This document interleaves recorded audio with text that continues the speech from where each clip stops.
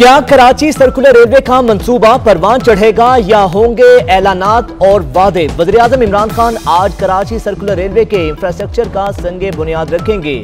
Railway track 29 kilometre तवील 16 station होंगे। मंसूबे पर 207 अरब रुपए लागत आएगी।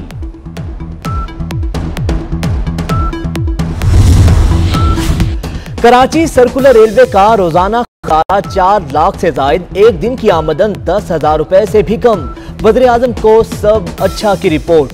अधूरा अधूरा ट्रैक, कम सहूलियात, गैर अहम रूट पर रोज़ाना चार्टर ट्रेन रवा दवा। रूट पर तजावजात भी मौजूद। कराची सर्कुलर रेलवे की मंजूरी किसी फोरम ने नहीं दी, फिर संगे बुनियाद कैसा सिंध के वज़ीर ट्रांसपोर्ट अवैध कादिर शाह का विफाकी हुकूमत से सवाल। बोले, तबाही सरकार किसी एटीएम को फ़ायदा पहुंचाना चाहती है।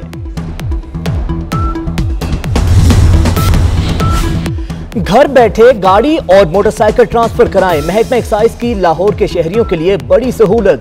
लोग एक्साइज ऑफ़िस जाने की बजाय कोरियर कंपनी में फ़ाइल और फ़ीस जमा कराएँगे।